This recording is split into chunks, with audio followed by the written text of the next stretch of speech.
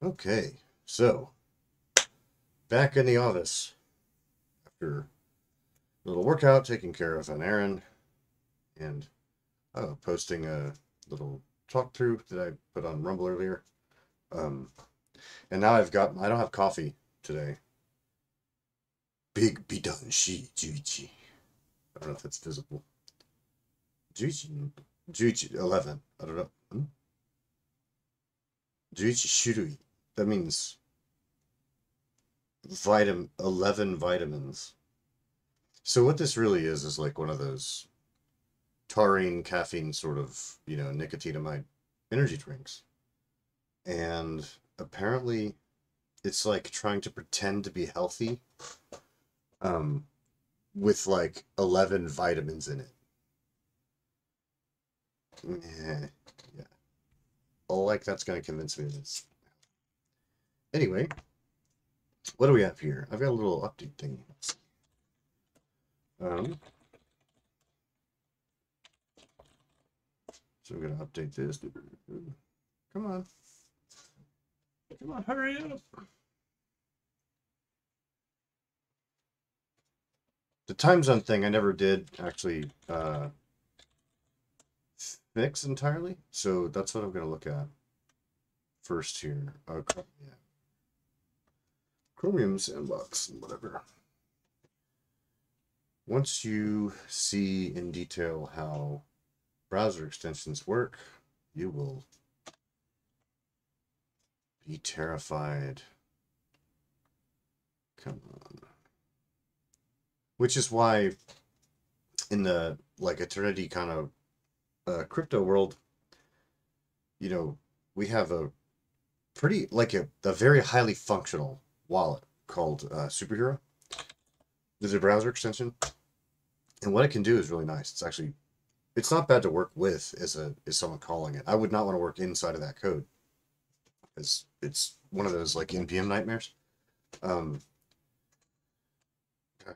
but um, the thing is a as a user, what it can do is is really cool. Like I, I like I like the way that that's kind of come out. Um, but uh, it's one of those things where it is a browser extension, um, like MetaMask and all these other things like that.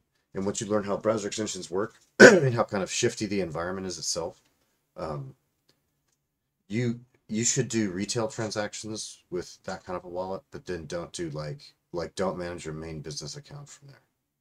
I wouldn't recommend that, especially if you have if you do have that. Okay, if you do use the browser extension if you use superhero browser extension as your main wallet, um, don't have any other extensions installed in that browser.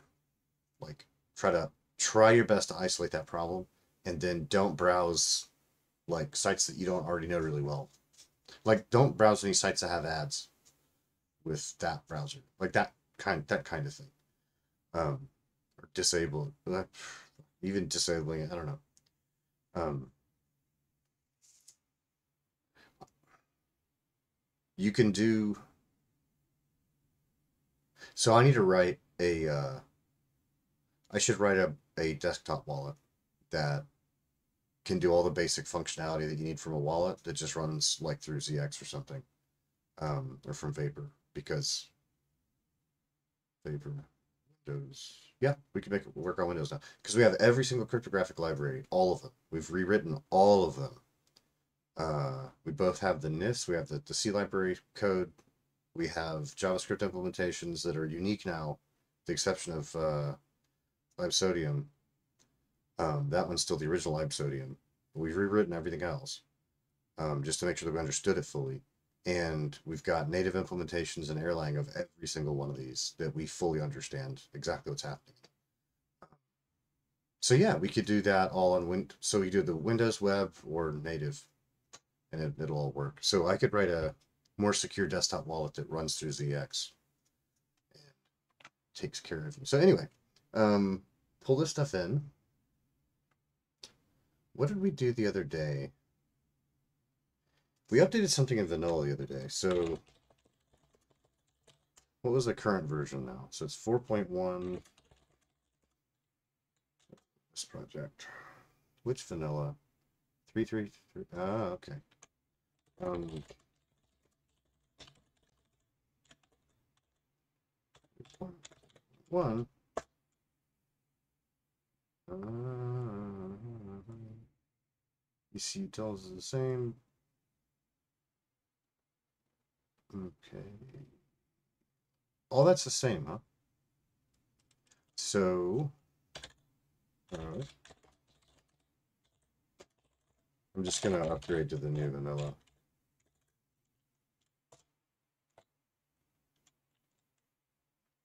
I forget we added a function to it that it could do something better now than it did before. I don't know, whatever. I don't want to be on the old one because it, it works for Page, obviously, but I'd rather be with a new one. So, over here, uh, uh, uh, that looks pretty good.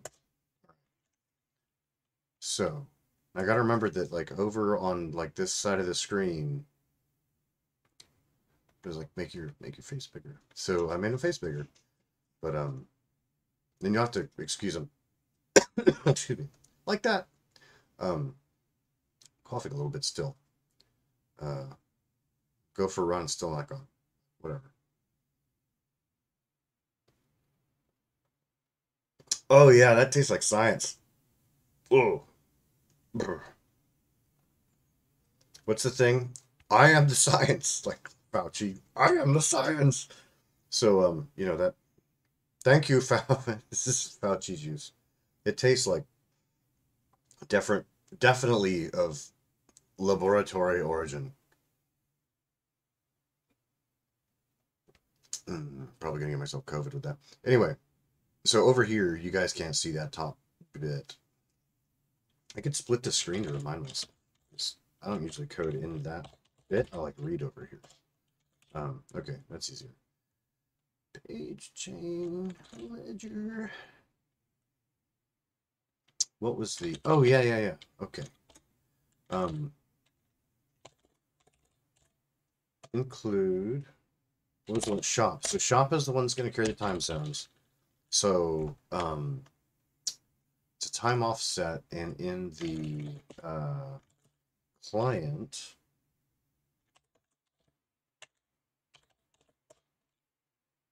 where's the one? No, this, this one. We're gonna make a new business. the user used to have a time zone, which we're getting. Let me make sure I got rid of it. I think I did.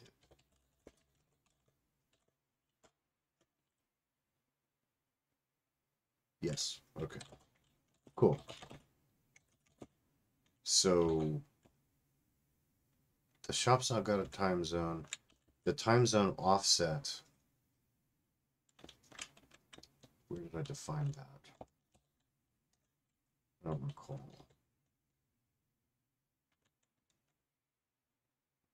Ah, right. Okay. So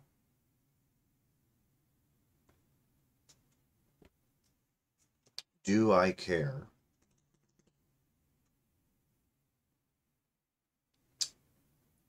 What was that from? Okay. Um, so in priv,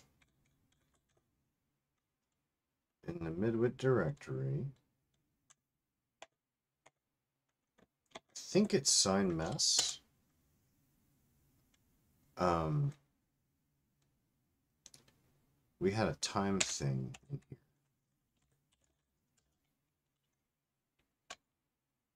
Uh, no. Date? Okay, not that one.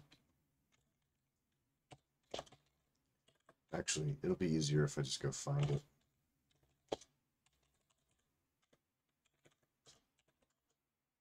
Crap. Crap.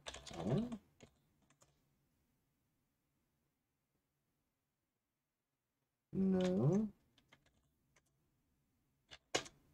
Maybe I have timestamp in here? Sign mess 2.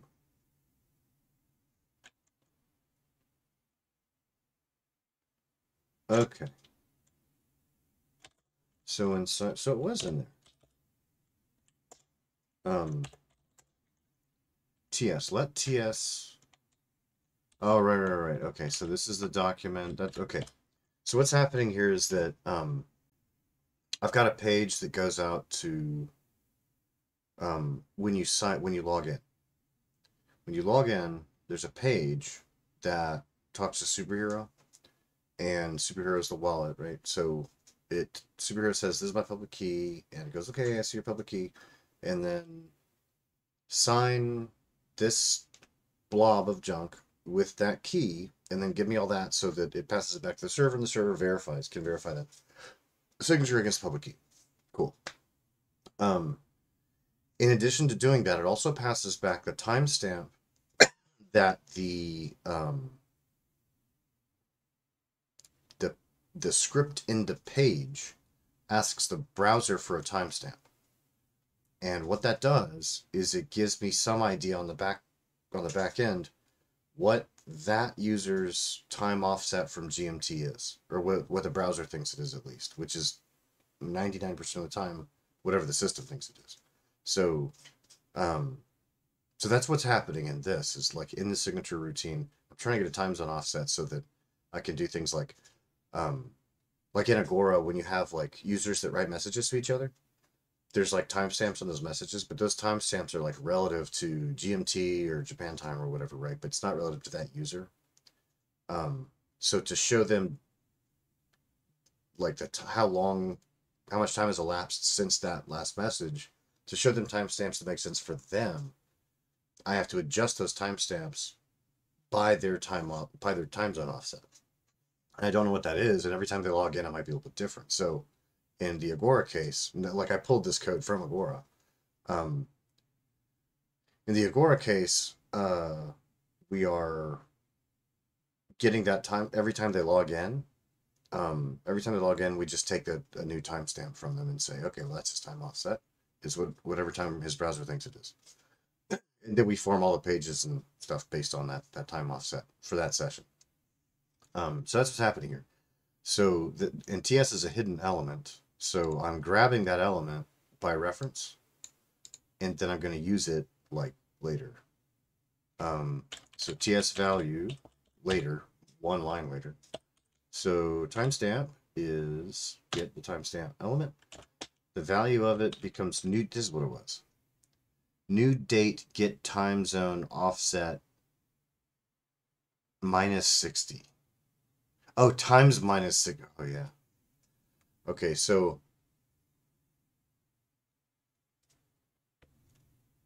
that's right. The time zone offsets in JavaScript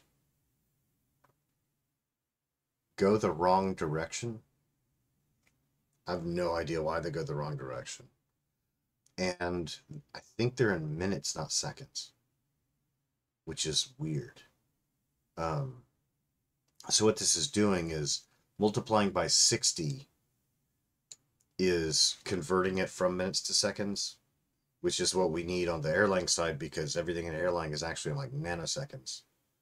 And then we convert that, you know, to micros microseconds and nanoseconds are like the, the typical measurement size for anything in Erlang. Is nanoseconds and microseconds. Nanoseconds is like the most fundamental one. Um, but you don't usually need nanoseconds. Um, the minus 60 thing would be like normally you would take that and then you'd want the negative of it, the inverse. So you would multiply the, that new thing by negative 1. And I just crunched it down to multiplied by negative 60. Um, and that gives you the offset that you would expect to be able to use somewhere else um, inside of, of our system. Uh, so that's what was happening there. The um, this, what is this? One, two, three, two, three, one, two, three. So we're at a billionth, which is going to give us the time zone offset in what, microseconds? Milliseconds. No, nanoseconds. I think that's right. Yeah. So we can test that theory. Um, so open up Erlang. Um, what is it? Erlang system time seconds. Millis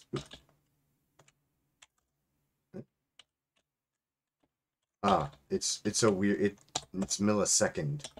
So seconds oop, I'm, I'm silly. Okay seconds. Millisecond which is weird. Um I think it's nanosecond. Yeah, okay. And microsecond. Ah, this brings up the question though. Does second work? Ooh, it does. So you don't have to do so seconds. Uh, now I'm curious. Okay, I gotta check the docs now because I always remember it being seconds.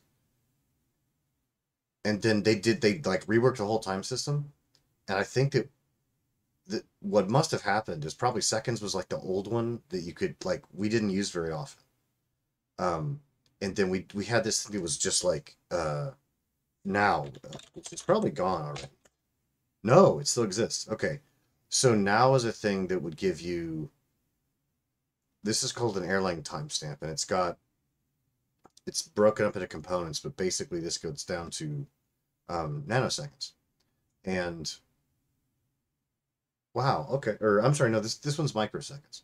Um, now gives you a microsecond timestamp. It's bro- broken up by periods, and what probably happens, I'm guessing, what probably happened was because if like look at your second and then now, um, this is your seconds thing, and then this was our microseconds, so it was like breaks of like you know sections like that. The uh, seconds is probably considered legacy just like now is considered a legacy thing, a legacy function. So now is deprecated, and I bet seconds is also, and they've gone with a singular second, millisecond, microsecond, nanosecond. Probably. So yeah, that's interesting. So I'm I'm curious now. Like if, if I go check the docs, so this is like the Erlang docs. Um, I think it's in kernel. It's where yeah the main module's at. Oh, application. Yeah, so system timestamp this is by far the biggest module in the whole language. Actually, everything in this module isn't even necessarily in this module. Some of these like define auto-imported BIFs and whatever that you would never qualify. Anyway, system time one. That's what I'm. Time unit. Or a deprecated time unit. What's a deprecated time unit? Aha! Yes. So these are actually deprecated now. That's what I was stubbing my toe on. Because I had always remembered it was seconds. And then. And I can't see when this was added. Ah, usually, most things that are in the. Like. Documentation has gotten better in the last couple years where. Um, when things get deprecated, you can usually. There's. Like if it's a function that gets deprecated on the side, it'll say like this has been deprecated since whenever. Um, anyway. I see what they they simplified this basically. They they took it down to singulars, and the singulars removed the stupid little brackets in there, that, or the underscores again. Cool. Okay. Whatever. So yeah, this makes sense. Um. So. Actually, cool. Speaking of which, I wonder about this too. Um, the in the in a video that, that I did earlier, um, a Japanese number came out, uh, man, and then isenman, and man means ten thousand. So like in Japanese counting, um, we count in periods of four instead of three. So you go like tens, or ones, tens, hundreds, thousands, ten thousands, and then we do one ten thousands, 10 ten thousands, hundred ten thousands, you know, the thousand ten thousands, and then we have ten thousand ten thousands or whatever. So, um, what I'm curious about is, can I write a number like that? Like, I know I can do this. A hundred thousand. Okay, like textually, it will let me do that, so I can break up. So, like in this code here, where I had like this giant thing and I counted it out verbally. Um, nowadays, you can do this, which the text uh, highlighter doesn't understand. I can do that to like make myself know that's a billion, which is cool. So, see, that's it's nice. Like you can break it up by periods, right? But what if I'm doing like a Japanese accounting application and I want to remember that I'm shifting something by a certain amount? Can I do like Jumo? Yes, I can. Okay. So that means the actual rule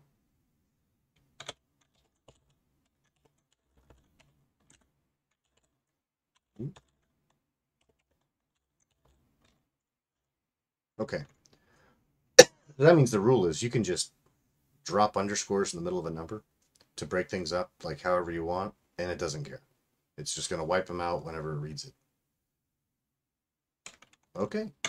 Um, I haven't messed with that, so that, that's a neat, that's neat that you could do that. That also deconflict some annoyances for my kids. Anyway, in the context of this system, let's see if we can conform to the uh, page timestamp is indeed nanoseconds, which is why we're converting that to nanoseconds. So the thing that I would want to know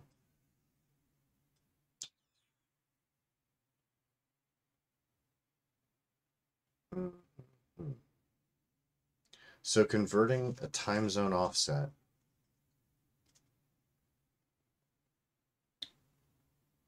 So for example, this is Japan. So what, okay, I need to look at the calendar module real quick. The thing is you can get like timestamps, you can convert from uh, some number of seconds to um, a given time zone offset. So you can start with like a timestamp and then you can say convert this to GMT plus or minus whatever offset, and it'll do the thing for you to, to get you the right number. Um, and I just got to iron out how I want to call that be because let me explain my goal here. So, all right, I've got this problem where um, I got two problems. Shops could be anywhere, right? This is like the internet. Who know? And and I'm writing a payment system for a blockchain. Uh, so this is a this is a point of sale system that you can log into with a public key to create everything like from the start and then you can use you can log in to this site which is a really really simple site and just put in like how much you want to charge a customer in AE, or you can put in how much you want to charge a customer in the local currency, and it'll give you what the AE probably is, and then you decide if you like that or not. But it'll tell you what the rate the rate is that it used. Um, and it'll have a QR code. It'll generate a QR code that pays two your business's account with a serial number that you know that it can see, whatever the amount is that it helps you generate, and then the user uses their phone and they go, you know, they point superhero at it and it looks the picture and it sends, then it can they can send the payment to you.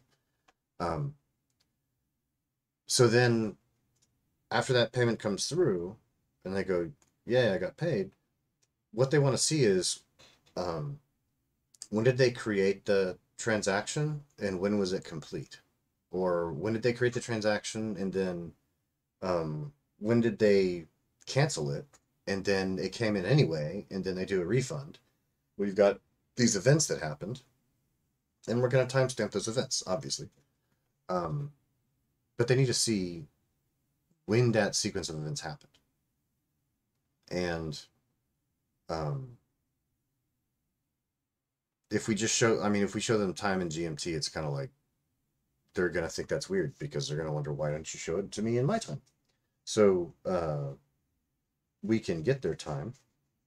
And their time is also significant for accounting purposes relative to them because the difference between days, you know, from one month to the next could be a significant moment for them and, and other things. So the way that we break up their, uh, when we move data from being the active days data to be, or actually, I've chosen that I'm just going to do a sliding window. I'm not going to do today's data. I'm going to do like a sliding window and every like, every so often I'm going to, uh, if we haven't checked a certain account for X number of minutes, the next time that we do check that account, we're going to go and like cut the tail off of anything that's over 24 hours old and, and put that in archive storage.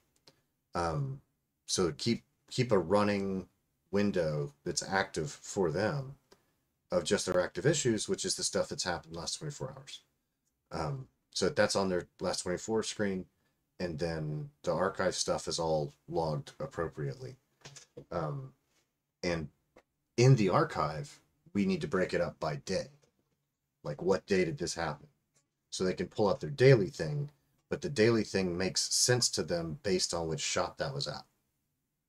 Um, and whichever shop that's at, that each shop, I mean, two different shops might in the same business might have a different time zone. So it's got to be broken up correctly for their accounting. So that's like that's the whole point of this time zone saga that I'm discussing.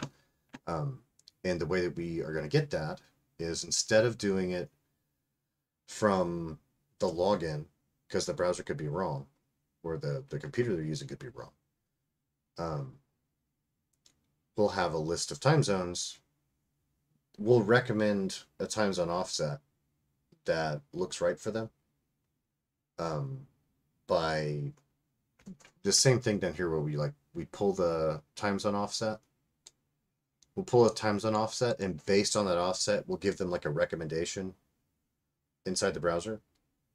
Um, but their offset might be different so um, they might they might have to pick a different one so we'll we'll try to help them pick a good offset, but it might not work out. So we need they need to be able to manually adjust it.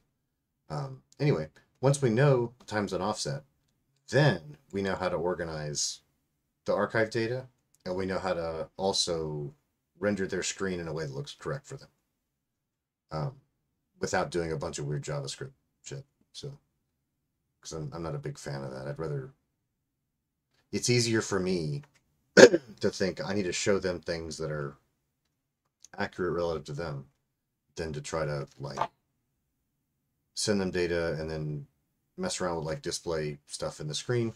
Um, and later on, if like for JSON endpoint, um, where I'm not doing the inner, like, cause I make these crappy HTML 1.1 interfaces to, to make sure that my thing works and to do like the beta launch of stuff.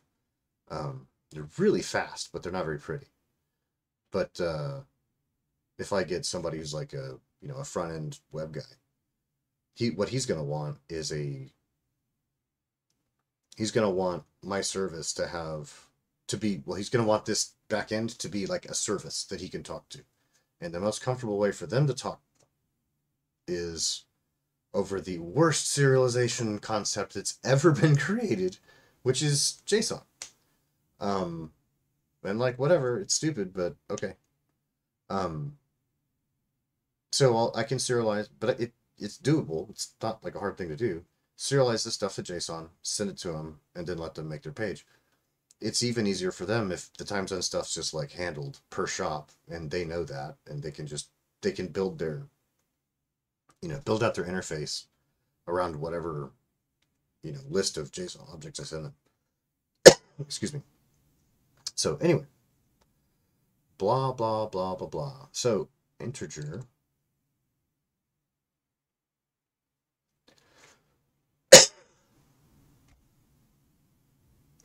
let me look at the calendar module real quick. I think that the calendar module is going to expect. It's in the standard library. What is it? System time to blah blah. okay, so how's this work? Time options offset. Okay, so options is a list of possible things. offset being a byte, like like a string. Okay. What happens if I do? Okay, so what's the time supposed to be? Integer. All right, let me just try this real quick. So I've got um, uh, system. Oh, I see. I see. Okay. So RFC Durka Durka. So Erlang system. That's what this means. Second. Ah, okay. So this is expecting seconds. Because I guarantee if I put nanosecond, I don't, and I don't tell this function it's going to get nanoseconds, it's going to go bonkers. Yep, so, but if I do this, option time designator. The hell's time designator? The character uses a time. Oh, okay. So that's the separator. That's the delimiter textually between the date and then the time thing. So it, it needs a character. That's one. Um, that's not what I want though. Unit of time. So I would do unit nanosecond. Yeah.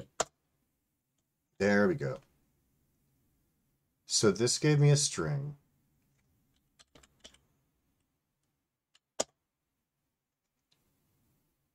Right, so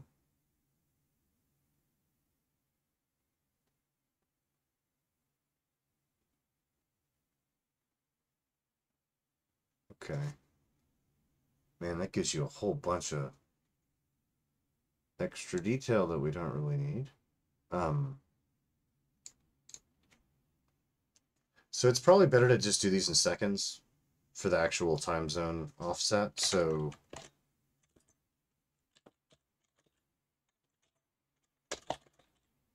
be real specific about that. That means that our time zone offset, we're not going to cast it to microseconds, which means that actually now we're just doing a guarded binary to integer, which I think I've already got, even in this module somewhere. Like I had a guarded binary to integer, but I'm actually, I may have just been doing Check shit test, yeah. Um. Whoa.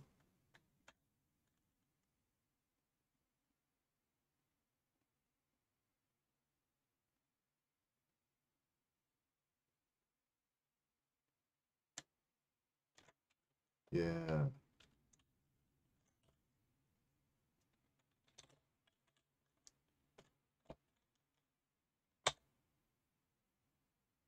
Right, so TZ offset. That's actually no, it's not just a guarded. Okay, it, I was thinking this was like a guarded um, binary to integer thing, which it kind of is. But what's actually happening here is is converting it to zero if it's bad, which is like a reasonable, you know, collapse of the conundrum. So yeah, which is different from because I've already got one that does like by the reason the reason it's guarded at all is because this is one of those functions where it doesn't have like an okay okay value or error reason return value. This is just a straight up like if you give it a bad argument, it crashes. So if this thing dies and it catches error bad arg, then we're going to return zero. That's fine. So, So TZ offset is acceptable as that, I guess. Um, so we're gonna do it in seconds. And that means system time to RFC 3339. How does it know that I'm at plus blah blah blah? Because the system time in seconds is like literally just a number.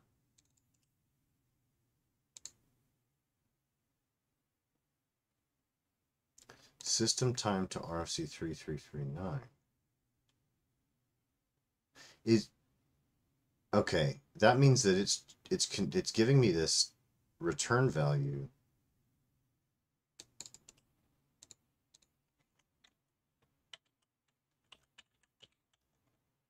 It's giving me this return value based on the current yeah see so like if I change this to like five.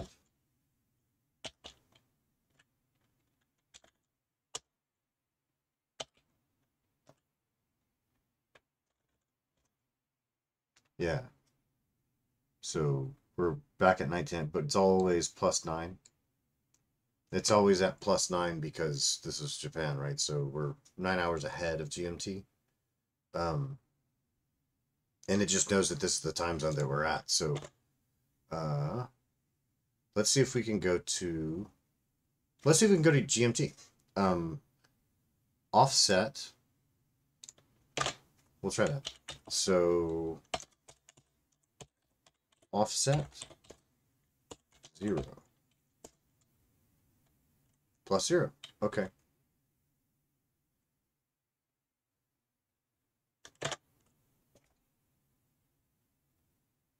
to system time.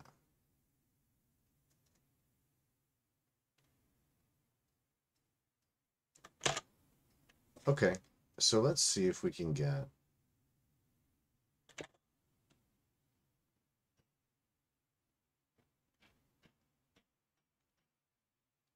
Let's see if we can convert one of these timestamps um, from one time zone to another.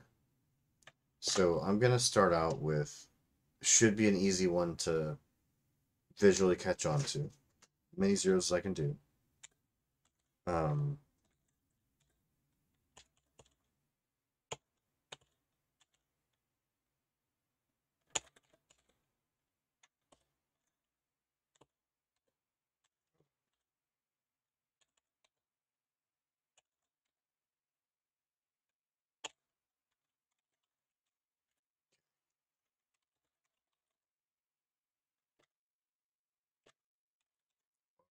to system time.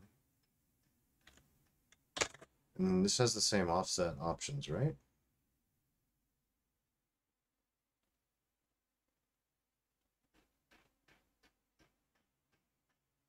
Hmm? Option can only be that. Oh, okay. It would have the plus at the end of it, actually, right? So plus, what was the, the GMT one I just did? Plus zero, zero.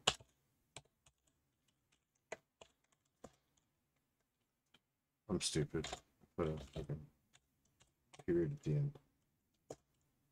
Okay, you can actually do that. Okay, so we're going to just call that A for right now. So now we're going to do calendar RFC uh, system time to RFC Durka Durka A. Okay. And it did actually add nine hours.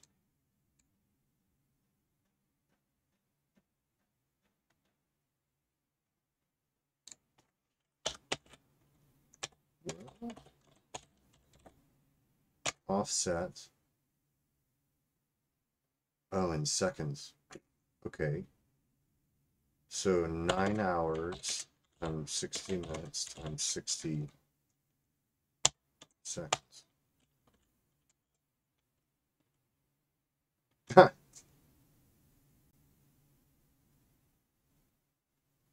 okay. So it just assumed that whatever I put in there was GMT.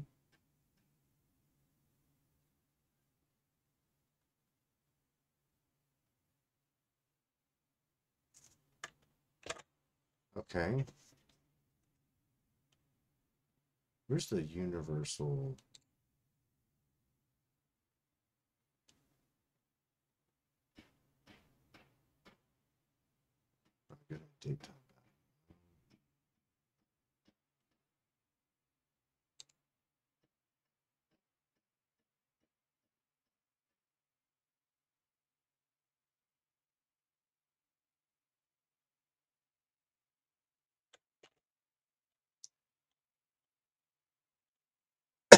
Okay.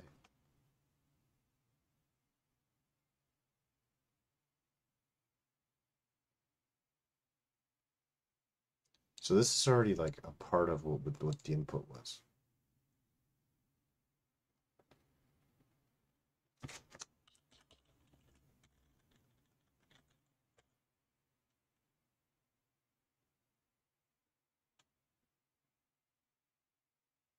So how how would I trick it?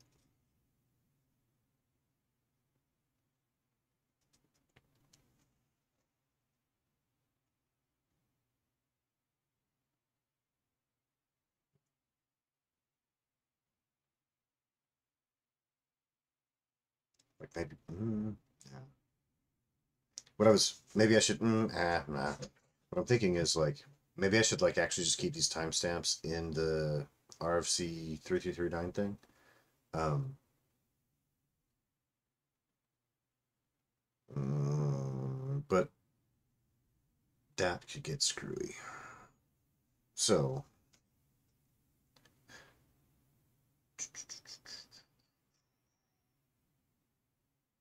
so it's a goal here.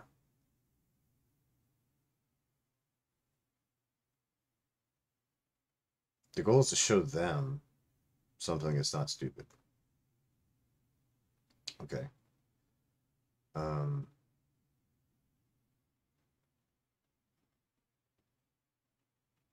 I've got their all their events for us are nanoseconds because we don't ever want to have like two things happen in the same second and not be able to sort them. Um, which you know there could be time warps inside the system. But it's really rare for for this case. Um,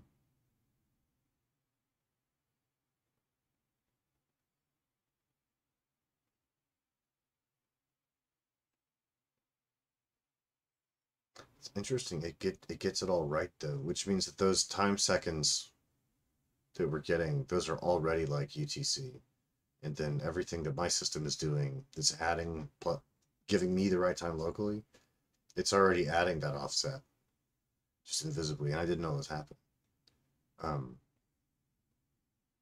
which actually makes this easier like way easier so i get their offset and then i don't really do any calculations i just tell the um, the printer thing to give me a different offset so okay so let's test that um, let's get a timestamp from like right now. So uh, we're going to do now equals um, Erlang system time nanosecond. Now that's that's how we're taking a timestamp uh, in the main page watching, right over here. So that's what we're doing over here. So that's our now, right now. So, um, uh, okay. Now seconds is going to be now divided by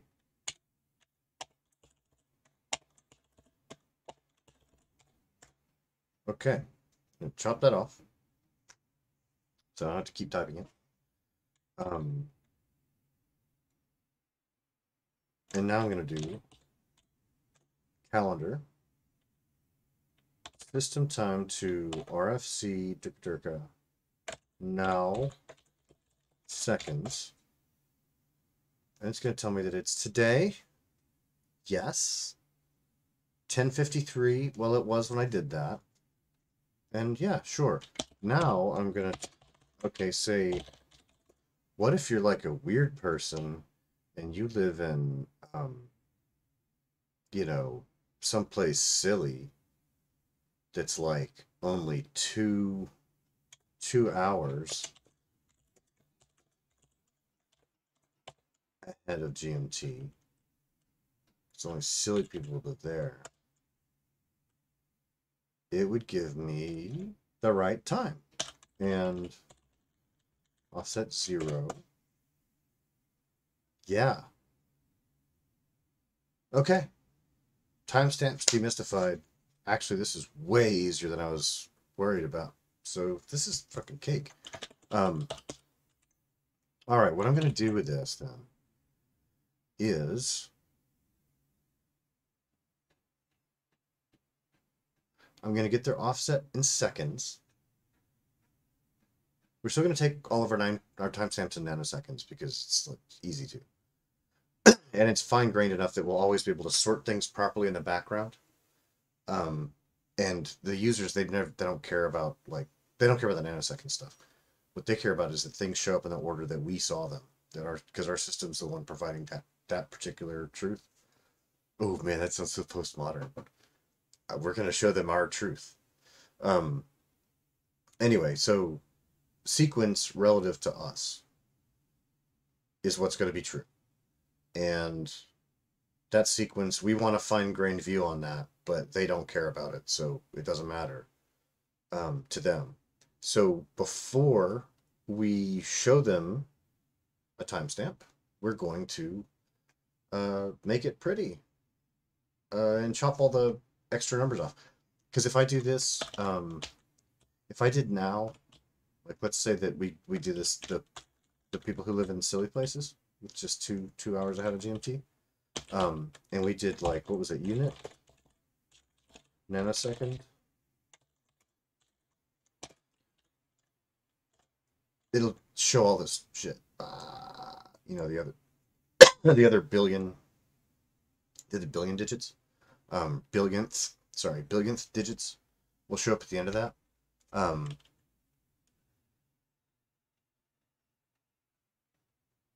wait what's up on here?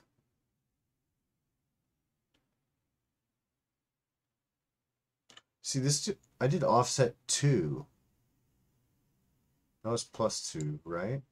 And this showing me plus 0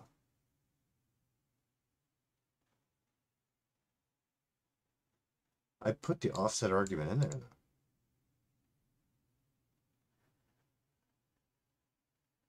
Why did that happen?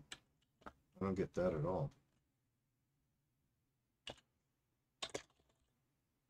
be funny if there's like an order that matters. Shouldn't though.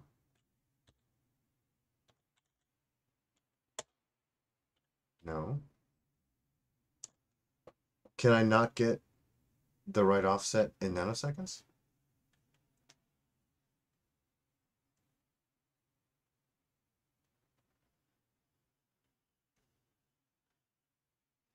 That's weird.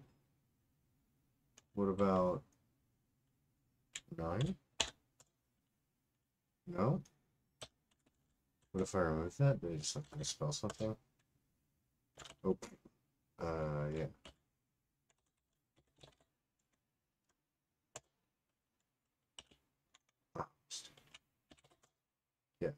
Okay.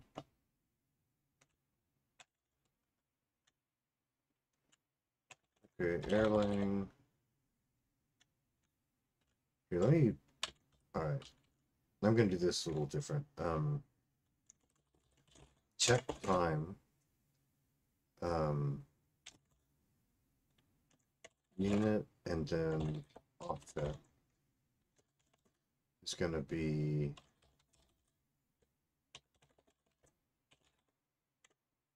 shoot, RFC Durka.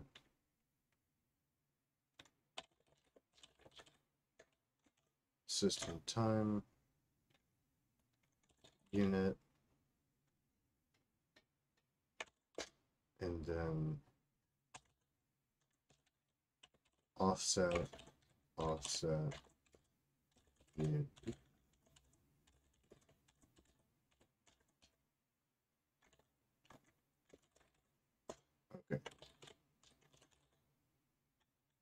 Check time. Second. Okay. 9 times 60 ah that's getting cumbersome too so it's just gonna be um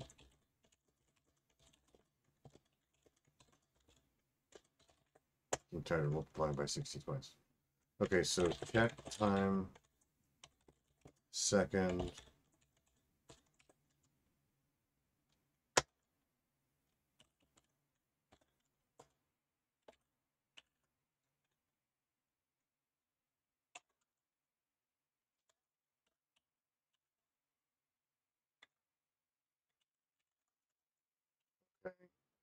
Okay.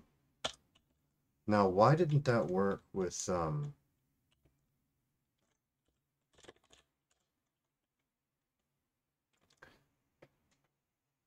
weird. So this looks like it's a bug.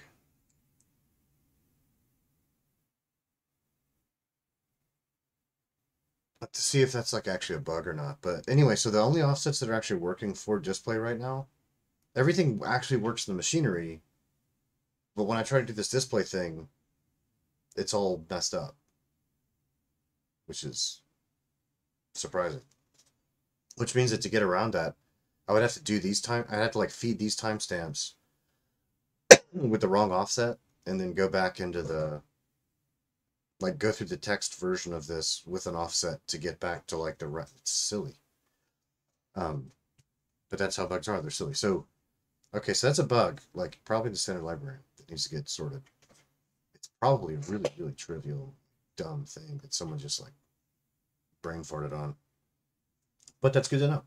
Anyway, it's also good to know this is easier to deal with than I thought. So we convert their time to seconds and then add their offset. That'll be the function. So the function would look something like um, um, display time. I'll do dt and make it shorter, but it'd be a function that takes uh, nanosecond timestamp and then offset in seconds. And then gets the seconds.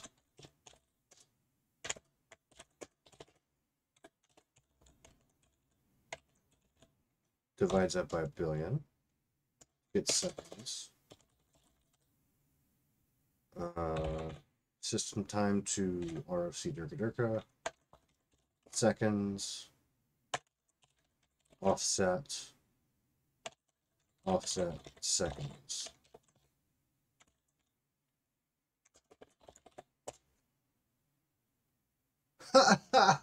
Silly me. I just did that. I totally did that. Yep. Okay, there we go. So DT. Ah! DT. I can't type anymore because I screwed up. Um, Erlang system time. Uh, nanosecond. Um, zero. Okay. And then Okay, is that the time now? 11. Yep, it is. Okay. So, okay, cool. So basically, like, I got that to work in the shell here. And so let me explain to you my process, my development process. Um, what I do is I monkey around in the shell, like I just did here, to make sure that, like, I've got the stupid details that I will never remember uh, ironed out because, like, I mean, I deal with the calendar module hmm, rarely. Um, I'm really glad it's there, but what like when I need it, but I don't use it very often. Um, it's just not the kind of thing that I have. What's mem? Oh yeah, okay. So this is the this is some core uh, some Aeternity like development note that I've got just left for myself. Doesn't matter. Um, so regardless, I got that thing to work in the shell, which is this function, and I will flip it out like I just did, and call this um, printable time.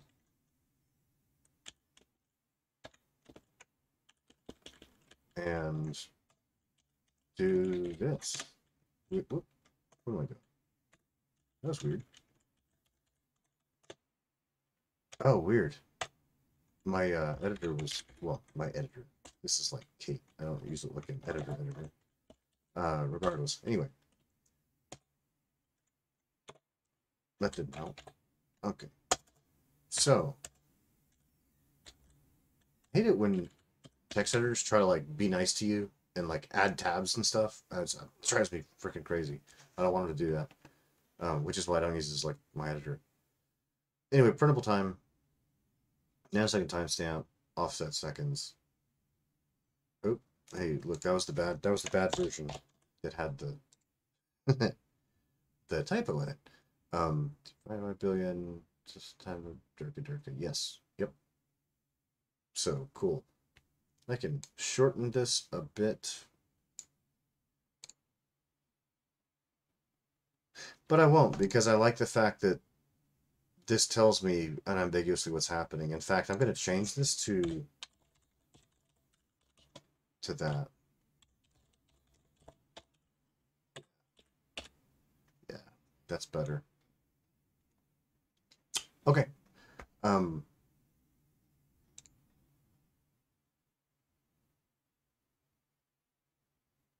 I don't like this name, printable time. It's not printable time. It's like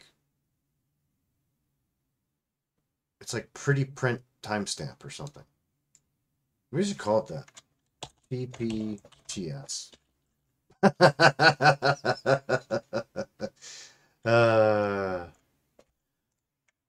hmm. So many inappropriate jokes. So anyway, um, so cool. That's yeah, that's fine. Um, so the, you know what? I'm gonna put, I'm gonna go ahead and drop that in here, right here, because I can, and we know that should work. Uh, that also means that I have to export it. I know I'm exporting it from the main module, but like it's kind of, it kind of fits together with that other one. Yeah, it fits together with the other one better. It really does. Um.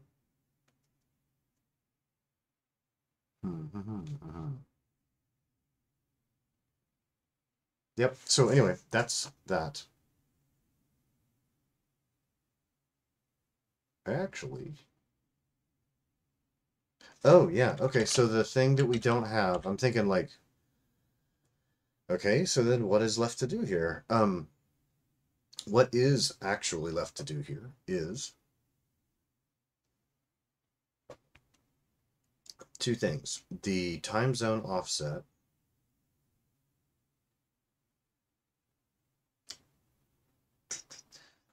So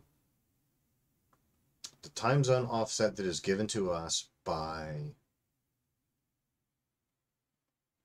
uh, JavaScript is backwards, but we know how to like deal with it. It's giving it to us in minutes, which is silly, but that like so. So that's all handled. What's not handled is the user needs to be able to pick their offset in a way that doesn't totally suck. And most people don't. Do people even know their offset from I can't make them type their offset in because they're gonna like screw it up. But I could give them like a select box. Okay, but a select box full of what? Because it's not like like time zones are funky. They're they're all weird. Um, do a search for time zones because I have no idea. I know I can get that from like the system somehow, but I really hate. I just hate. It says time zones. This has been clicked before. Um. Aha. Okay.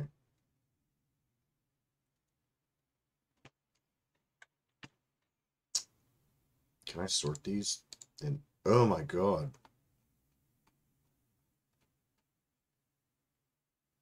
This is horrible.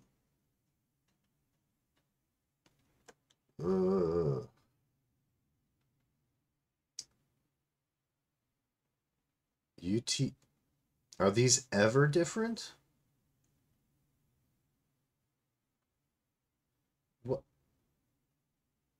Why is there a UTC versus GMT if they're always the same?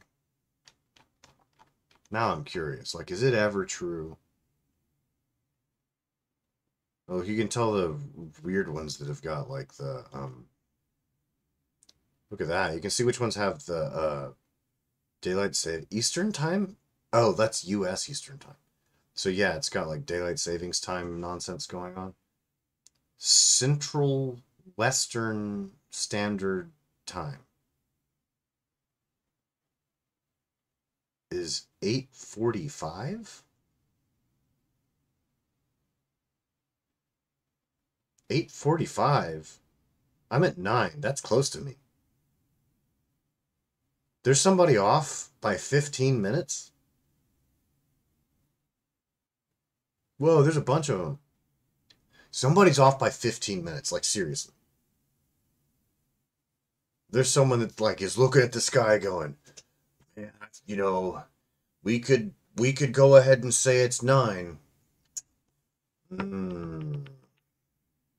But I really think uh I think we should wait 15 minutes. Yep. You know, it's like it's like waking up and so whoever did that was like, "Oh, all the alarm clocks in Japan went off, but I want to sleep in." And their snooze button's like 15 minutes, and then that dude's like the king of some Pacific island. It's like the size of your like thumb. And so he can just say, "All right, you know what? Our time zone, our time zone's going to move back by 15 minutes because I I really need that moment to get my headspace going in the morning. Um, where is this? S- Central Western State. There's a couple of them too. Look at that. 1345, 1245, 630. Yeah, half hour. It's not as weird. Where the fuck is this? It's one of the well. It's one of the well-known names. Oh, it's well known. Ahead of UTC by the same because UTC and GMT offsets are the same. This is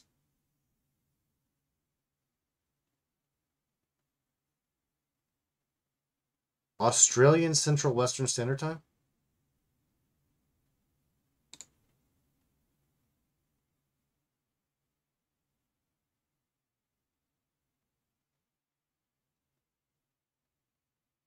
All right. Now, this is deserving of another web search because I'm just like, there's no way Australia's that. I mean, Australia's been really silly to its own people last couple years, but um, what?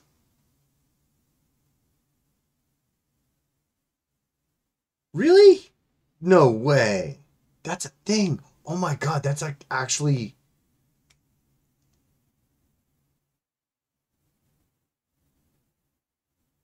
You know, I've said I've said before that time handling is retarded because humans are stupid. This is blowing my mind. Normally when you think of like weird time zones, it's like, oh, India's gonna be like, yeah, no, we're gonna be off by 30 minutes. And everybody goes, ah, well, whatever. And it's fucking India, so it's huge and like they have like a space program and everything. It's kind of important to be able to like interoperate with them. And in practice, when you deal with Indian companies, they don't like care. They just conform to whatever you do.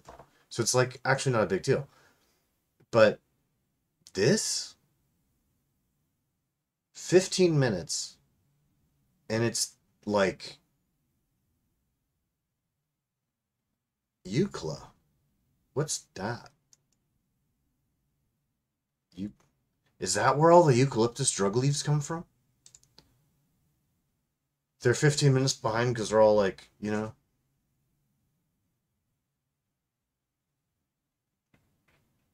Where is this place? I mean, I, I saw the map thing where it is, but like, what's there? Uh, map of Euclid. Was that spelled right? Eu- Euclid, yeah. Western. Oh, there's tourism. TripAdvisor for tour. Okay, I've got to see this.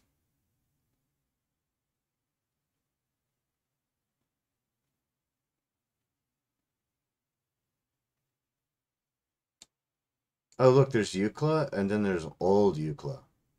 And then there's a Euclid jetty. We must be zoomed way in. If Oh, yeah, it's two kilometers. So that's like, that's just like a morning jog from Eucla to Old Eucla. Beware unfenced road sign. What does that mean? We Wee Booby Cave? Oh, he's just a wee booby. I'm getting completely distracted. I'm supposed to be solving a time zone problem, but this is so border village. Nullarbor nymph? Nymphs? Australia's not really known for whatever. Um, Wilson Bluff. Beware unfenced road sign. Are there there's an airport here. I thought that was like an asterisk, like, you know, like come see whatever's here, trying to draw my attention. But that's actually like runways. Look at that. So somebody has like technology, like engines, and they don't have any buildings though. Except for the telegraph station. Man, that's in a jetty. This map is more desolate than like a freaking beta release of a new map for DayZ. RFDS airstrip? RFDS airstrip? I'm sorry, that's also called the highway. The Eyre Highway.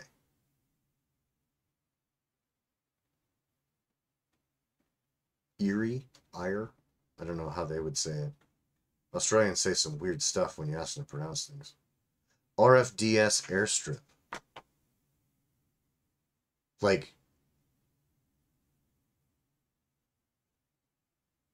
I, I guess you could. Can you just count on nobody ever driving down that? I mean, that's a nice long straightaway right there. Looks like there's no. It's right on the contour line, so it's not changing elevation like at all. What is an a beware unfenced road sign? Fragen sind für Sie da. Yeah, sure you are. You just want my money. Beware unfenced road sign is a parking lot in Western Australia. Beware unfenced road sign is situated nearby to the. Thank you, computer generated junk. What is that? What is beware unfenced? Like, why? I don't give a, What's the Wee Cave?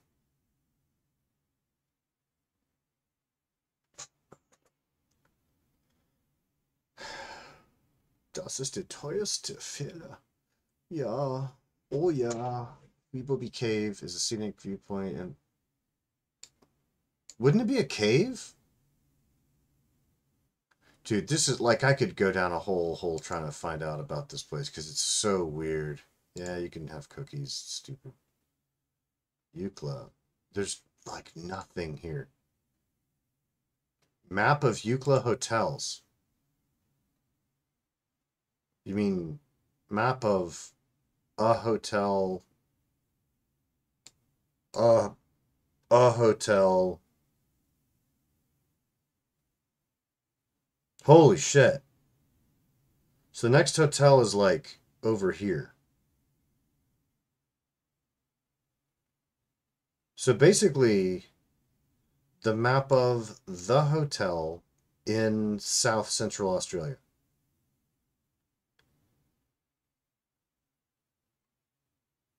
Wow.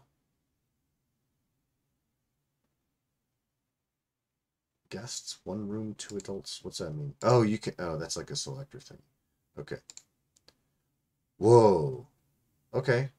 Ooh, satellite map.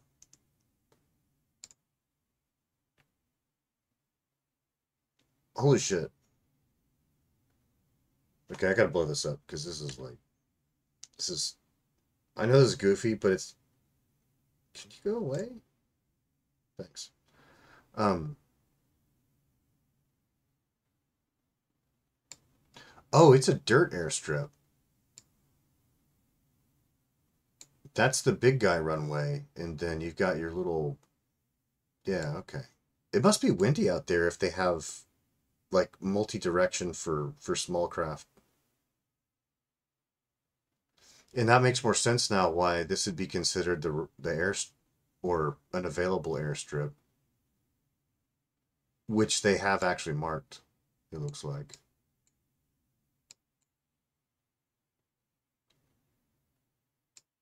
Wow. Yeah, this place is desolate. Um, it looks like it'd be a nice drive, though, actually. If you're into that kind of thing. Look at this. This place is crazy. That'd be a fun drive. Like, I bet it'd be interesting to just, like, take a weird trip out there. Oh, it's chilly today, huh? If that's today. Um, not cold, just nice.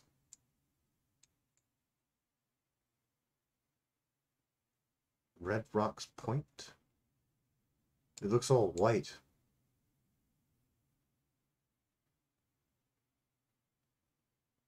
Oh, there we go. Wow, that's some serious beach. So isn't this Australia? So just like if you get in the water, you just get eaten by a shark. Are these lines from different mapping efforts, or they've like, did someone try to do agriculture here and it got all weird? Cocklebiddy, dude, that's like Weebleby Cave. These have got the best names. Cocklebiddy. How can okay? How can I make a module name in this project called Cocklebiddy? Cockle. I'm gonna take a note of that because it's important.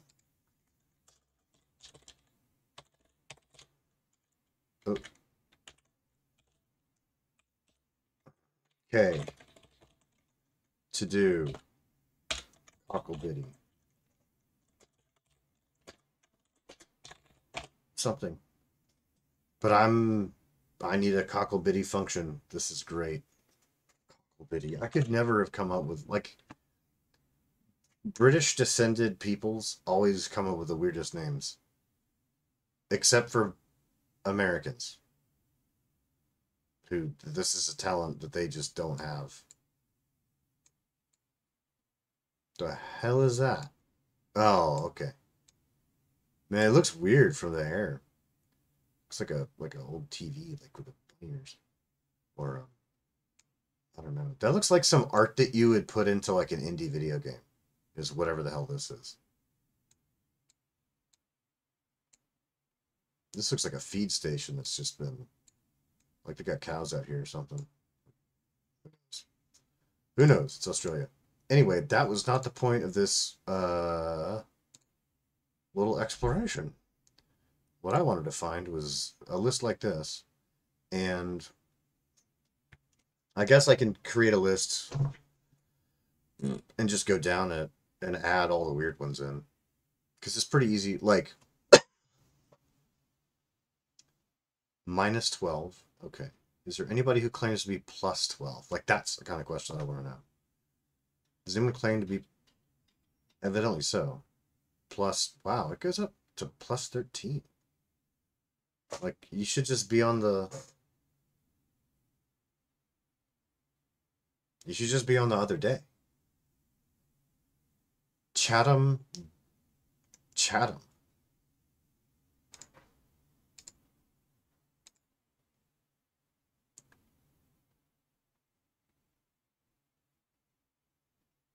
Chatham Daylight. Oh, so there's two of these. Chatham Standard Time. What's the reasoning behind that? Why would you not just be on the other day? Like, Chatham Standard Times use Chatham Islands, New Zealand. Located in South Pacific Ocean. Oh, that's unofficial. Australian Central Western Time. One of only three time zones, the 45 minute offset from U- UTC, others being Nepal. Oh, yeah, yeah Nepal. Blah, forgot about that. Like, even more stubborn than India. We gotta go with that.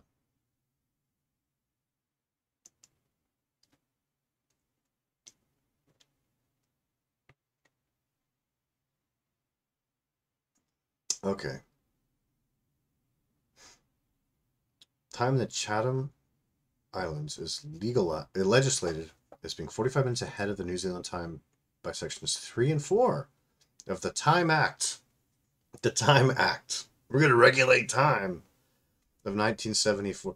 That reminds me of the um uh brilliant British comedian, I forget her name. Um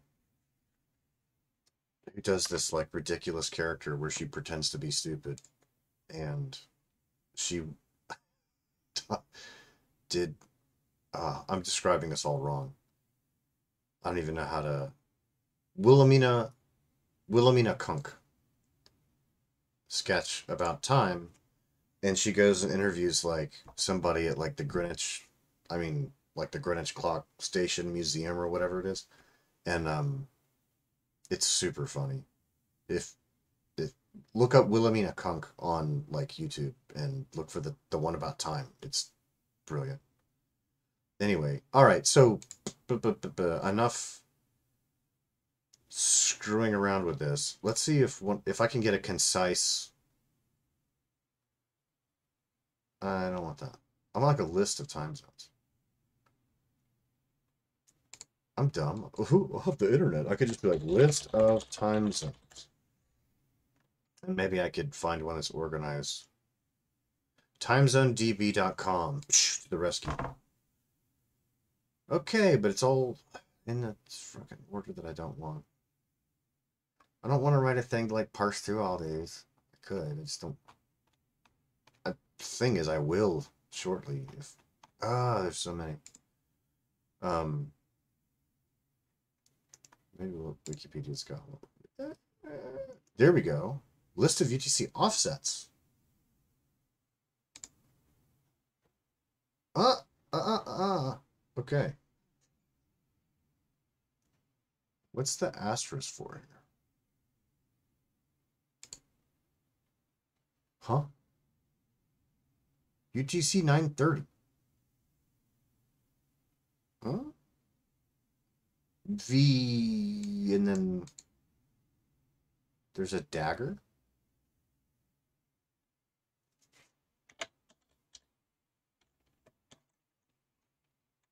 Look at that. There's like a dagger shape on. I know that's one of those little like we're not going to use an asterisk, but whatever kind of shapes, but it looks like a little dagger. It's cute. V dagger. How do I do that? Um, okay. Can I just copy paste it? No. Yes. Okay. Let's see if this actually works. Because I might be able to. Cockle bitty. Okay. Cool. So. Is that a standard minus? I don't think it is.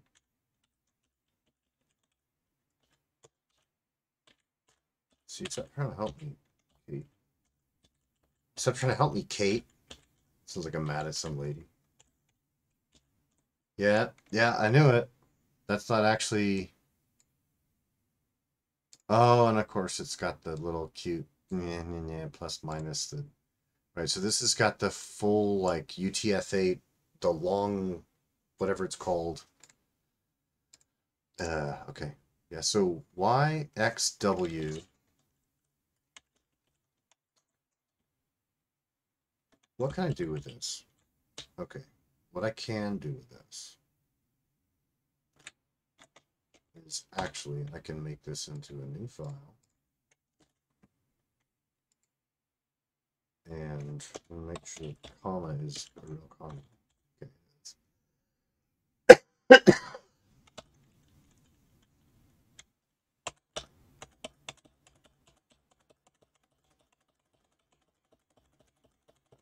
How many of these do you kind of have speaking? Not that many. Okay. So I think what's supposed to happen here, Kiribati, in the Phoenix Islands.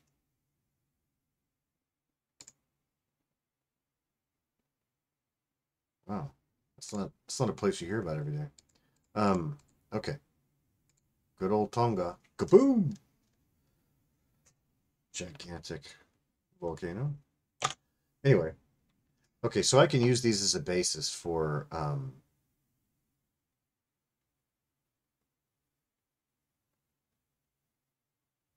doing stuff. I wonder what this actually prints out to, like, in terms of. Yep, I knew it. See, it's using one of those funky high high Unicode value thingies. Okay.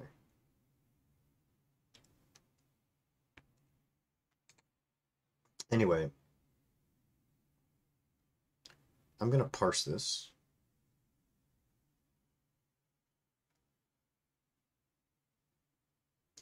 And just put them in. Okay, so what I don't want is the ends of this, right? So if I cut that at the comma, actually I could do this with like a text, a text thing. Right, I'm just gonna play with this real quick. See if I can make it like not stupid. Um, put it in here and just play with it. Uh, UTC UTC offsets. It looks like University of Texas cough sets, which makes me think of football and the like turn your head and cough please, or which I've not had to do for years. Anyway, let's see here. So if I want to play with this, with our cough sets, gonna play with your cough set in your cocklebitty. It's getting outrageous. Um, okay, so uh, what are we going to do? We're going to get um, bytes, file read, UTC offsets text. Oh. I want read file. Okay. And now I want um, Unicode characters to list.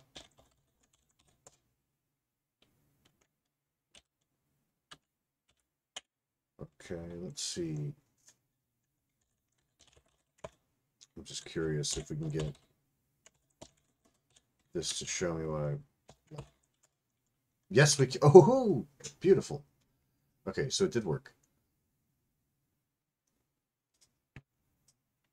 Which means that all of our new lines are in there. So if we're going to do, um, I could have done read line, but uh, it doesn't matter. Um, so string split. Uh, oh, I'm dumb. I want the uh, the text.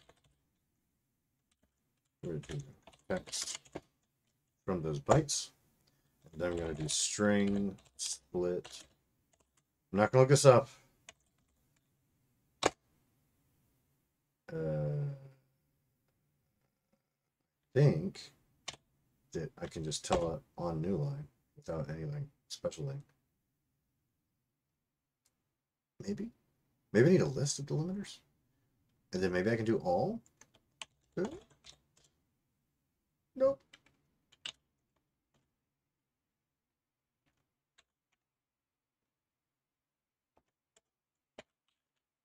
Hmm? Oh. Maybe I need that. Maybe I need a list. Oh, I'm just I'm like stabbing the dark, not because I'm stupid. Oh no, that was it. Um, which means that I should have just done this. I'm dumb. Look, I could have done like a string like that. Yeah. Uh, duh. Okay, so that's all of the bits that I want there. Okay, so lines equals that. Okay. And then how do I want to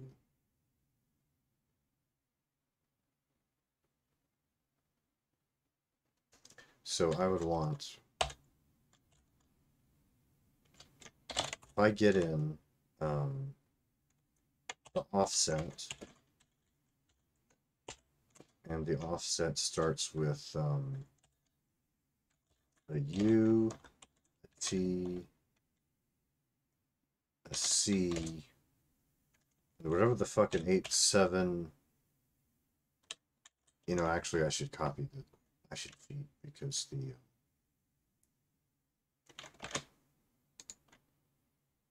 no, wait, I'm dumb, got the whole thing over here.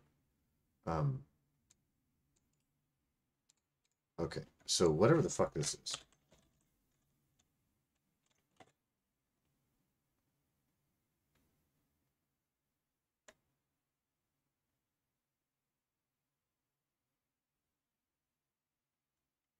Okay, and then these are all like the same size, and I don't care after the comma. Okay, I know what I'm going to do. So I'm going to do, um,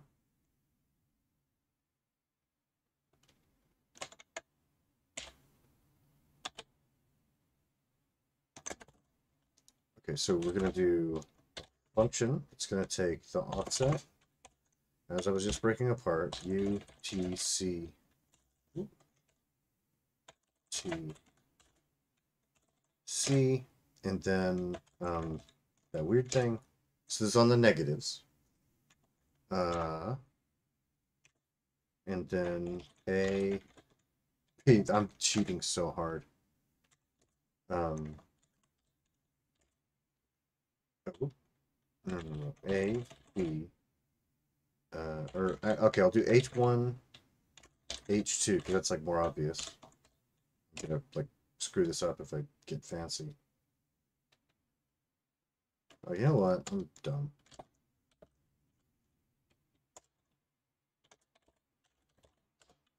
It's gonna get weird to read otherwise. U T C weird thing. H1, H2. I say it's gonna get weird to read. There's gonna be a bunch of clauses here. Into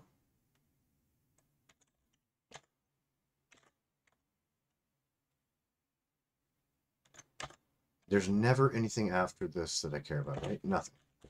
So actually it's gonna be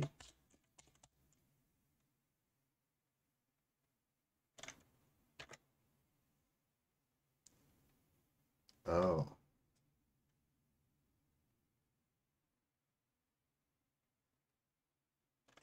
Actually, no, this is going to get done too. So, fun offset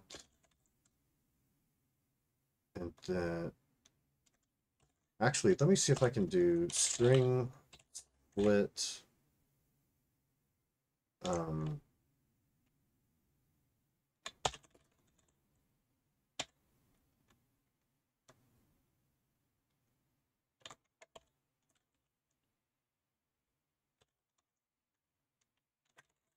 Needs to be that way, right? String split. Okay, I'm gonna I'm gonna run down this list of um, lines that I got, and then uh, split from that comma at the end here. Break all this off. Just take the front part of that real quick. Um, I think that's a better thing to do. Okay. Just gonna take the front part. Yeah, see, this came out better already. Good, good, good. Oh, and they used a real plus sign. So they used a fake, like, my... Ah, silliness. okay, so... Better lines. Okay. Alright, now I'm going to do... Uh...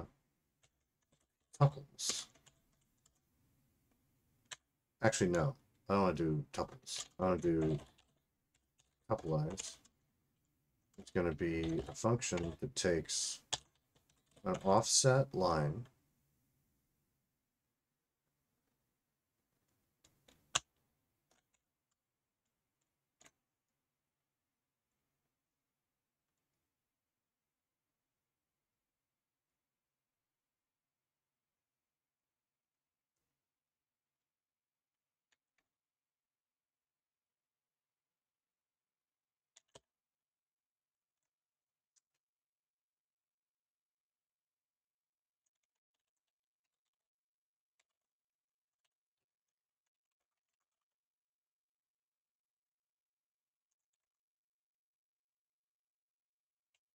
offset case offset of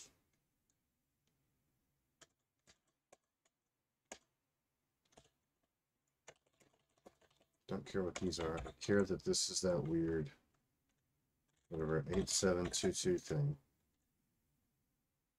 And then h1 h2 don't care. M1 m2 in that case, I want the offset string is like the one thing. Then I convert the M1 to the M2 um, so M1 times 60 times 60 plus so we're going to convert the hours to seconds and then add that to the um,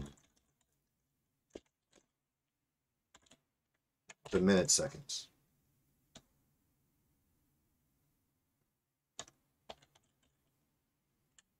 And it's going to be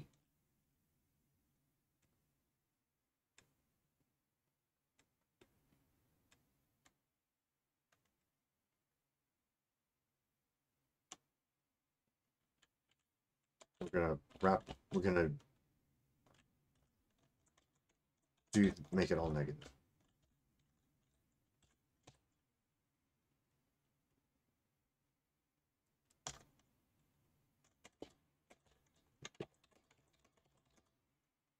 Um, what was the other one? It's just plus, right? H1, H2, M1, M2, off, ooh, offset, and then M1, M60, M60, plus M2, Wait, no, whoa, I'm dumb. Look at this. Look at this. I'm I'm being retarded. I'm I'm like completely brain farting here. H1, H2. These are characters, not digits. Ah, silly me. Okay, so look at, I'm just like brain farting nonstop. Which is ridiculous. So, case, offset of. Okay, so I was, I was on the right track. 8722. And then H1, H2 thingy. M1, M2. Well, we do want the offset here, but we want um, list to integer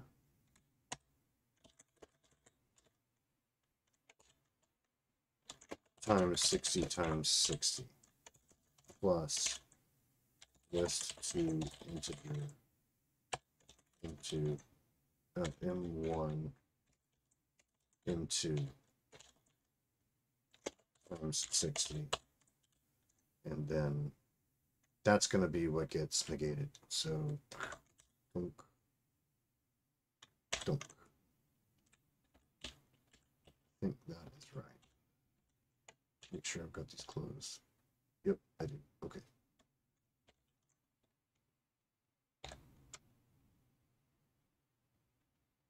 Yes. Then what was this thing? Plus H1, H2, N1, N2. Okay, and this is just up. Ooh. List to integer H1, H2. I'm pretty sure I got, I think it's list energy. I'm going to laugh if I actually wrote that wrong. That's what blows this up.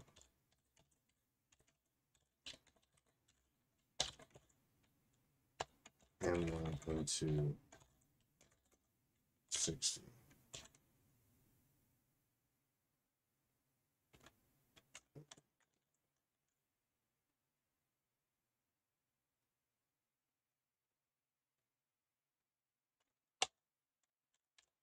and then if it's um, that thing, there's only one that's not that way, I think. And it's going to be zero.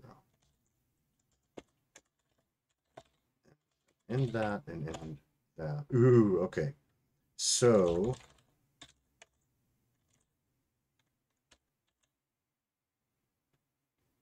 top lines uh, better list. Oh, better lines. Ooh, I think that's actually correct.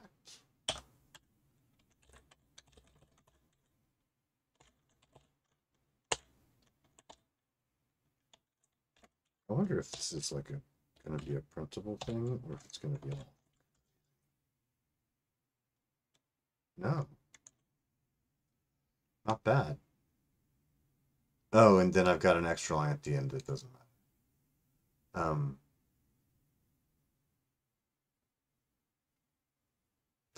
okay.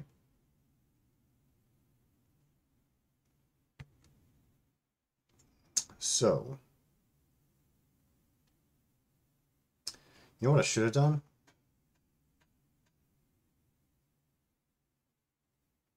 Is replace that. That stupid minus thing is just dumb.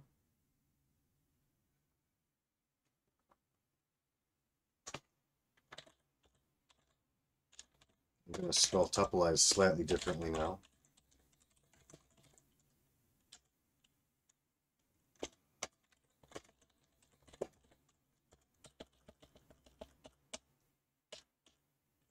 Okay, offset. Change this to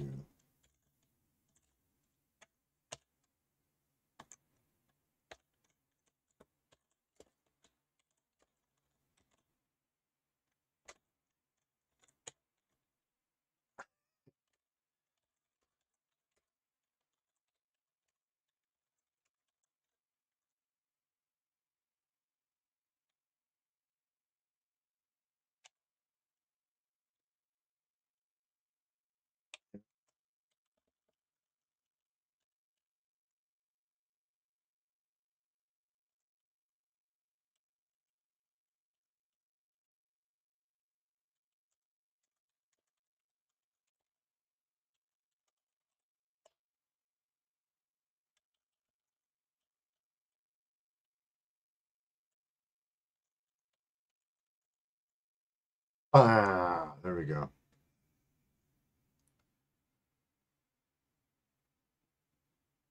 Okay.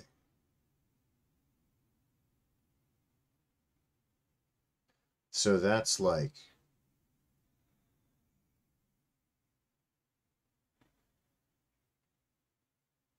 what was the let me get this drop last here.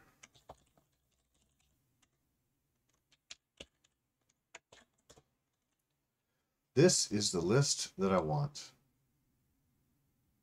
And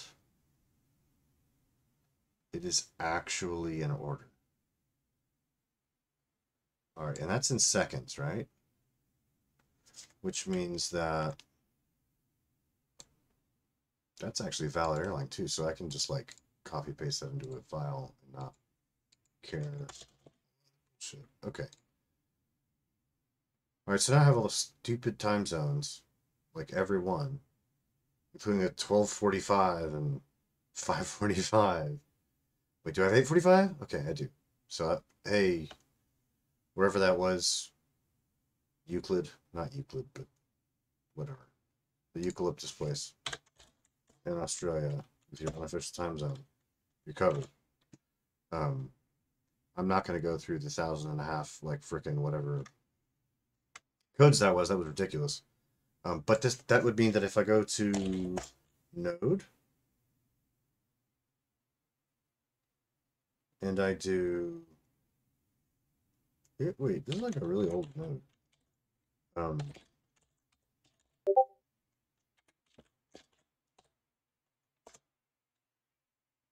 which node am I looking at? Oh yeah, okay. So my Symlinks point at some ancient version of Node, and I should probably uh, change that. Node hmm, version. Hmm? It's still bin. Bin? Bin and bin? Bin, node, bin, bin, bin, bin, bin, bin. Okay, so there's like symlinks to symlinks, symlinks here. Um, I forget what is this? LNS. And what happens? Right? Yeah, yeah, so. Okay, so targets first and the link name. So, um, LNS, bin npm needs to point to bin node E18 duplica bin npm, right? Oh, I did that.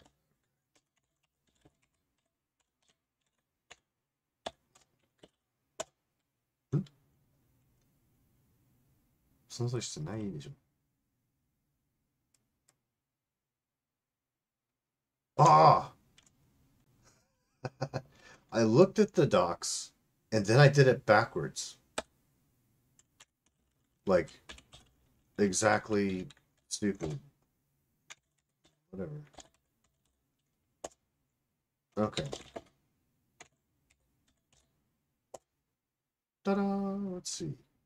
NPM now points to that NPM. That's good though. Okay. Um,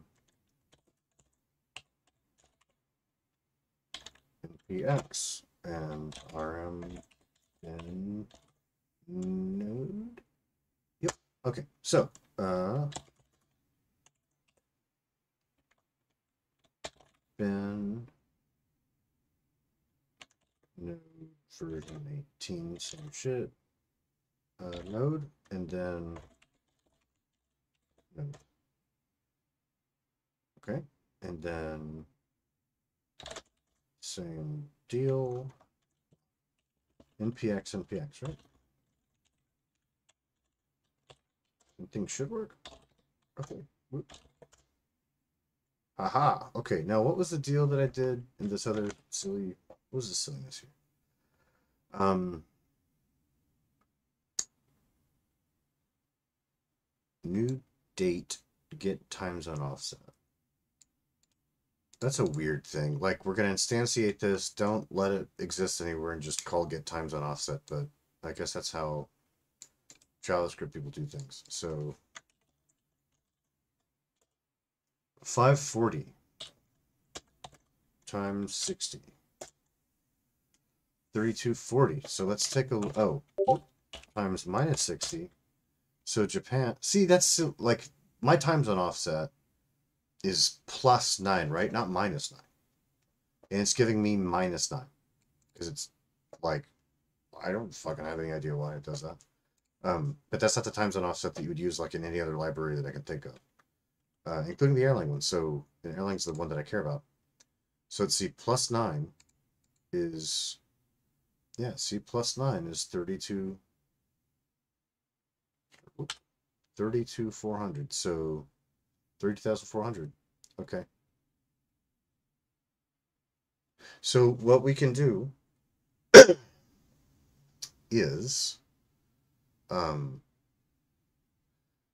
I will loop over these to create uh, now I can and I can create a time zone offset thing for um, yeah, I can create a time zone offset selector. It's in there like the shop edit page. And to populate that selector, I can loop over these time zones that I know are the like the ones that exist as silly as they are. I've got labels on the left that are like acceptable. Um, and the right side, I've actually got the integer values for the seconds offset that I want. And so what I can, and so these seconds offsets should match the in page, the time zone offset that I can generate in that script that's inside the page. It can get the time zone offset and it can try to find the one in that list that like the value that matches the one that it sees and it can try to select that like set that as the one that's selected for the user and i know i can do that through a script i don't remember exactly how to do that in a script but i know i can do that um, because it will be less distracting than looking up all these ridiculous time zones and desolate parts of the world with like you know satellite imagery. Um that was kind of fun though. Um you know and then going through and like honestly kind of like it would have been faster if i just like knocked this stuff off.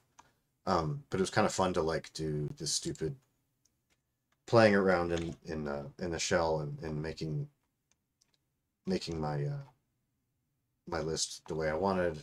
Honestly, that was just yeah, the most productive use of time. It was kind of fun. Um, as silly as it was. But now I've got my list. I put that in my program and use that as base data to generate that list. The page script can know what its offset is and then try to select the correct one and then the user will be less perplexed and only users who have to actually care about like what time it is really carefully or the the one percent of users whose like time settings are actually going to be wrong. Those people will need to go like manually select where they're at. But I think for most people, the vast majority of users, they will never have to look at this. They'll never have to pick anything in here to make their system work right. And that's actually the goal. Um, people say my interfaces are clunky. That's true. They're like, your app doesn't have any buttons, or it has one button, and like two input fields and there's nothing going on. I'm like, yeah. And then they're like, but it works every time. Yes. So that is the essence of the Craig level interface is that it's allowed to look clunky because everything in the background, there's nothing to clunk is the thing. There's nothing to do. Like if everything's handled properly, the user shouldn't have to actually mess with most of this stuff. Um, if they do, it doesn't matter how good the interface is, it's going to suck to deal with the system. Um, so the goal here is that 99% of users are never going to have to touch this. And I mean, when I say user, I mean managers who are setting up shops inside of a business they work for. 99% of them should never have to touch any of this stuff. Like I'm doing all this work right now, which front loads it for them so they never have to. Um, that's the ideal. So hopefully, that's how things will go. Um, it is coming up to noon right now. I have to go do something and I will be back. And then I'm going to put this into like a thing to do the to do the thing. I, I'll probably be able to continue with the video. I might not be able to because um, there may be stuff going on behind me, um, which would be maximally distracting. And I'm gonna want music on in that case. And if I do have music on, then I can't screen record, or I could, but I can't publish it because I will get, um, I mean, copyright strikes. I'm not monetizing anything, but I'll get like copyright strikes anyway. So that's stupid, but that's how it is. Anyway, if you happen to have any good indie music composers or game music composers or whatever who don't mind their stuff being like background music in a weird stream like this, then like that would actually be helpful because um then I could work through distractions while still like narrating and not have an issue with stuff. Anyway, this turned out pretty good. Um I hate dealing with time zone stuff, but at this point it's like a completely tractable problem now. It is absolutely obvious how you can iterate over a list like this, make the label, make the value, have the script, get, I mean, we just did it here in the shell. get his time zone offset, pick a thing, and move on. This will be simple. So that was cool. Catch you guys later.